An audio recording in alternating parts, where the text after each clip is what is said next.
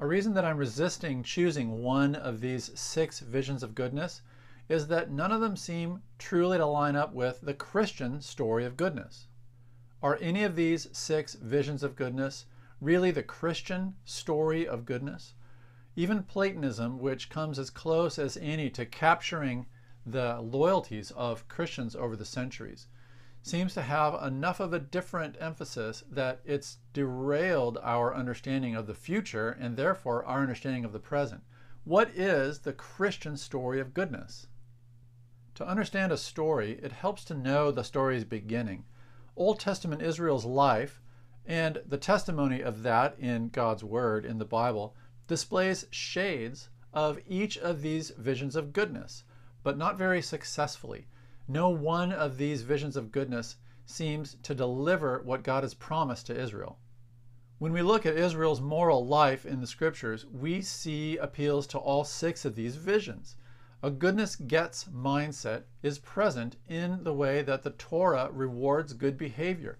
If Israel, you want the blessings of this covenant, obey these rules and regulations. Well, that is a goodness gets mindset. Those rewards aren't just incentives, they are the blessings of the good life. So, goodness isn't just a means, goodness is the goal or the end to which God is trying to point his people. Covenant rewards, as blessings of the good life, embody a goodness results mindset. Both of those things are powerfully at work in the Torah, the first big section of Israel's scriptures. If we look at the other sections, we see more. In the writings, the Psalms, the Proverbs, the wisdom literature, we see that wisdom brings good and just outcomes. That is a goodness merits outlook. The wisdom that we live by produces the fruits of wisdom, and both are good and to be desired in the prophets, we see God as the source of Israel's goodness, right? God isn't just Israel's maker, God is Israel's font. God is the source of all that is good for this special people. And the prophets announce that after Israel's failure, Israel will return to Zion, to where God's presence is, to inherit God's goodness. That is something like a goodness returns outlook. But in returning from exile, Israel won't just benefit, Israel will become a channel of God's blessing to what isn't Israel, to all the nations of the earth. Also, in the prophets, we see the promise that the Torah will stream from Zion out into the nations, justice will flow like mighty rivers to God's people, but through God's people to others. And blessing, blessing will overflow Israel and cover the earth. That is a goodness spreads outlook. We even see a goodness expresses itself outlook in the fact that God has chosen Israel as his betrothed. If Song of Songs literally is about ordinary human sexual attraction in marriage, then when God takes up the figure of Israel, his people, as his wife betrothed to himself, he does that in the prophet Hosea and elsewhere. God is affirming his people their being, their goodness, which, yes, after all, is a gift from Him, is also truly theirs. They become a worthy bride for their divine bridegroom, Yahweh. I find this complexity of visions of goodness both fascinating and truly significant. God's design, God's goodness cannot be reduced to just one of these six visions. God is up to something that lies beyond any one of these six visions. Well, what could God be up to? The ministry of Jesus Christ shows a similar complexity. God is up to something in Jesus' ministry that seems to lie beyond any one of these six aspects of Jesus' teaching and approach in his ministries that you see in the Gospels and in his very words align with each of these perspectives. Although imperfectly, he doesn't just fit into each one's slot. He does, however, offer a picture that resembles each one in its own way.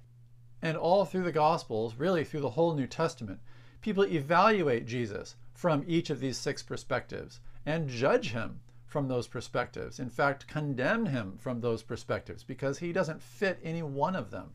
He looks like he's a threat to the goodness merits mindset. He looks like he's a threat to the goodness returns mindset if he leads his nation into idolatry and following a false prophet. His crucifixion is a showdown between these visions and Jesus, whom they're all trying to judge and condemn. And in his resurrection, God vindicates Jesus over each of them. And yet, aspects of each of these visions of goodness play roles in Jesus' ethic and in Christian ethics. Paul tells the Corinthians, and here he's representing Jesus' teaching, if the work built on the foundation, Jesus would say, on the rock of my word, if it survives, that worker will receive a reward. Well, that resembles a goodness gets ethic. And Jesus has promised that a disciple who sacrifices, who has left family, homes for the sake of the kingdom, will receive many times more in this age, and in the age to come, a sacrificer like that will receive eternal life. That resembles a goodness results ethic.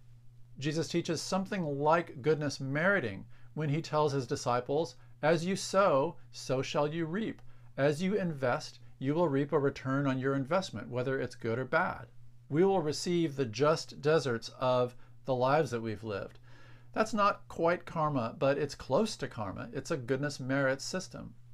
I hear a glimmer of goodness returning to its source when, in the Gospel of John, Jesus says, When the Son of Man is lifted up, he means on the cross, when he's glorified, he says, I will draw all to myself.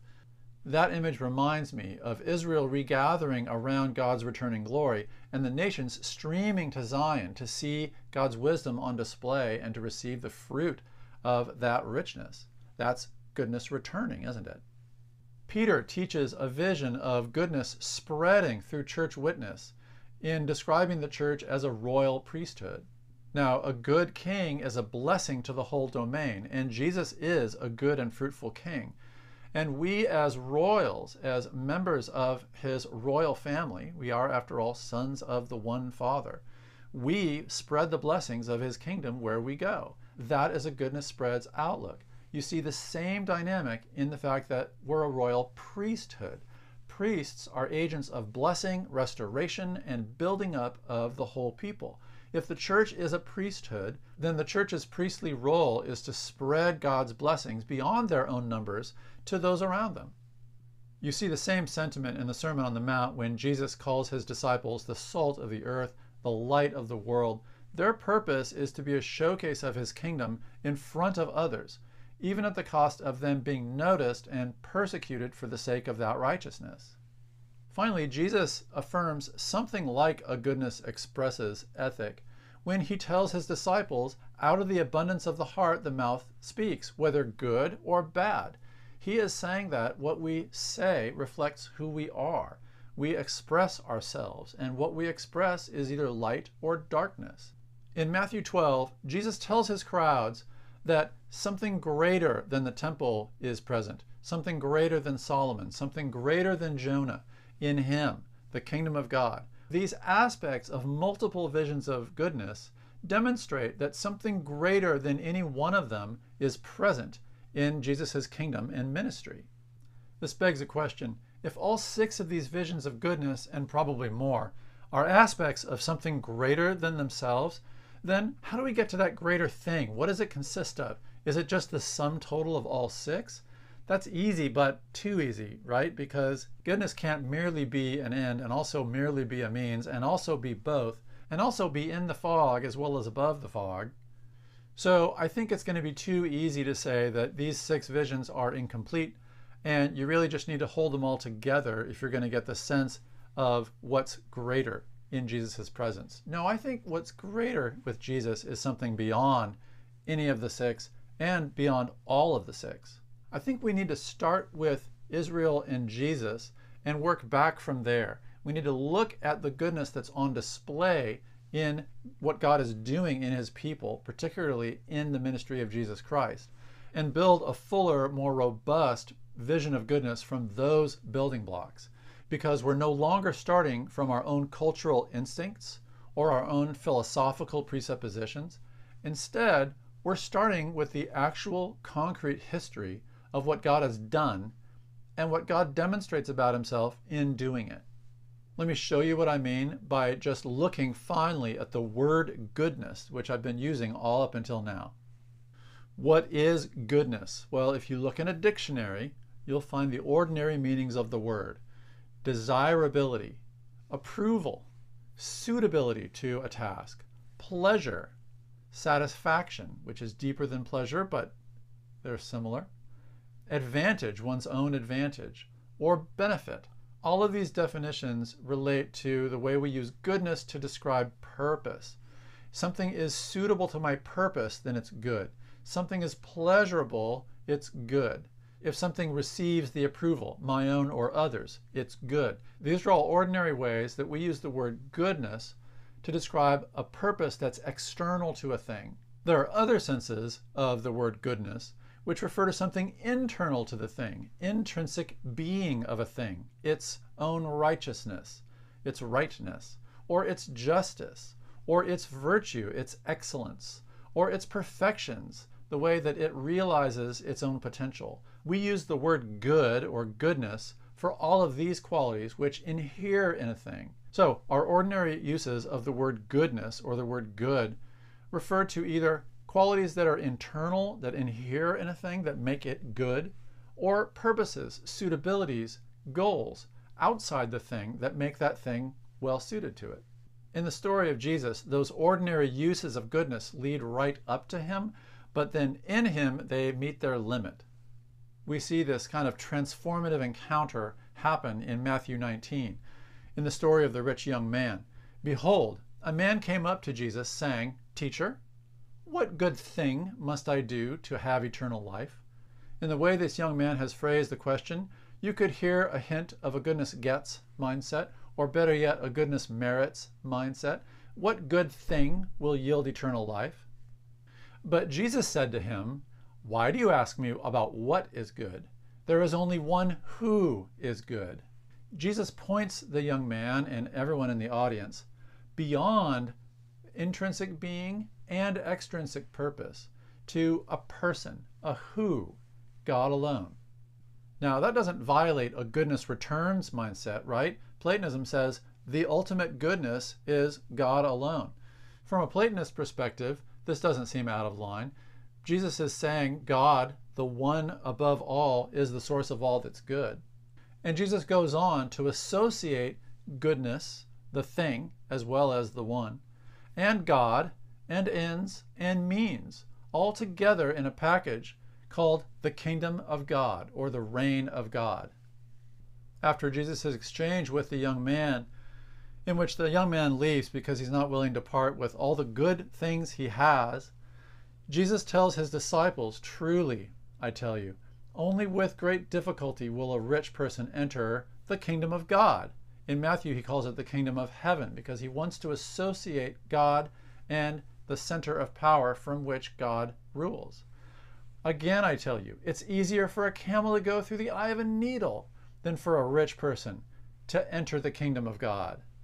On the one hand, in this passage, Jesus firmly roots goodness in God alone. One there is, who is good. But then he goes on to develop how the goodness of God alone flows through his kingdom into those who inherit it. The kingdom of God, therefore, is a key framework for understanding goodness as Jesus wants to teach it.